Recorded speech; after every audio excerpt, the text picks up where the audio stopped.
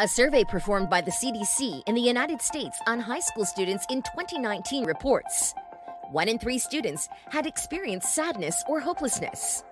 One in six U.S. high school students reported making a suicide plan. And this same year, the number of black students reporting suicide attempts increased by 50%. Consequently, the future of humanity requires additional support in understanding how to routinely improve our quality of life.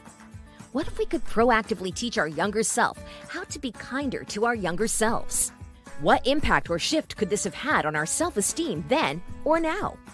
At Higher Ground Wellness, we're building products to advance life skills to proactively enhance emotional and physical well being as young as five years old. Let's be honest, freedom really begins with access to a free mind.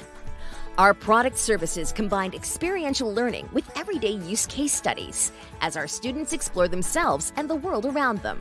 Our virtual program, 333, is three days a week for three consecutive weeks. We curate small group classrooms to influence critical thinking skills and daily practices of self nourishment, including food and nutrition, conversational public speaking, effective communication, and personal etiquette.